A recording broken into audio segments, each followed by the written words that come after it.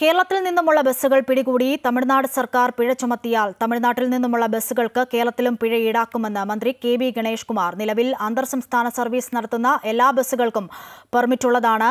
സീറ്റിന് നാലായിരം രൂപ പിഴയാണ് തമിഴ്നാട് ഗതാഗത വകുപ്പ് ഈടാക്കുന്നതെന്നാണ് വിവരം. ഇക്കാര്യം സംബന്ധിച്ച് തമിഴ്നാട് ഗതാഗത വകുപ്പ് മന്ത്രിയുമായി ചർച്ച നടത്തുമെന്നും മന്ത്രി കൊച്ചിയിൽ പറഞ്ഞു.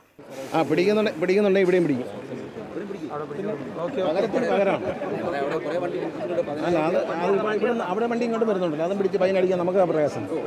കേരളത്തിൽ നിന്ന് കയറുന്ന വണ്ടികൾക്കെല്ലാം തമിഴ്നാട് നാലായിരം രൂപ അല്ലേ? സീ- പെർ സീറ്റിന് നാലായിരം രൂപ ടാക്സ് അടിക്കാൻ തീരുമാനിച്ചു. നമ്മളും അവിടെ നിന്ന് ഇങ്ങോട്ട് വരുന്ന വണ്ടിക്ക് അടിക്കാൻ തീരുമാനിച്ചു.